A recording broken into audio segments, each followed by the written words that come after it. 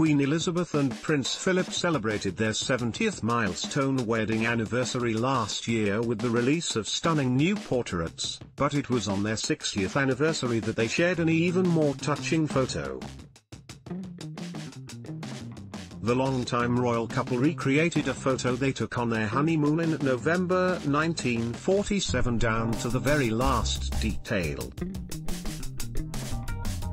But what made the 2007 photo all the more sweet was the fact that it was entirely their idea.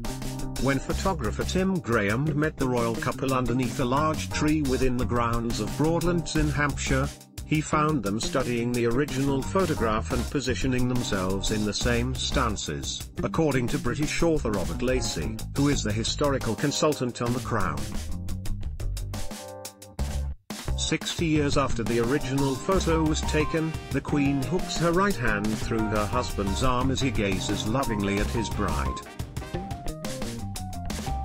And the monarch has the same sweet smile on her face all those decades later.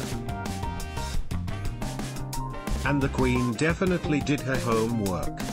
In addition to the couple wearing almost identical outfits, the monarch is also sporting a strikingly similar brooch and necklace in both photos. The newlyweds spent the first part of their honeymoon at Broadlands House in Hampshire, which was owned by Philip's uncle, Lord Mountbatten. They then travelled to Birkhall Lodge, which is on Balmoral Estate in Scotland. The royal family gathered together to celebrate their anniversary with a private dinner and a toast to the latest amazing milestone in a lifetime of records.